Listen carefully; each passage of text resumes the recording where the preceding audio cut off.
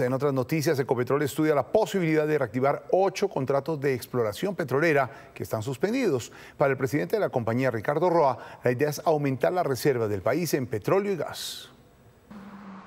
La idea que tiene la presidencia de Ecopetrol es reactivar algunos contratos de exploración suspendidos con el propósito de incrementar las reservas. Son ocho de los que han sido suspendidos. En esos contratos vamos a revisar la posibilidad de una reapertura de los mismos para seguir buscando petróleo y gas, aumentar las reservas y aspirarle a la gran meta que tenemos y al gran reto que tenemos garantizar para el país la seguridad energética. Los ocho contratos que se podrían reactivar y a los que se refiere ROA están ubicados en el Piedemonte Llanero y en los llanos orientales. El presidente de Ecopetrol también reveló que se seguirá la exploración en 48 contratos que se encuentran activos.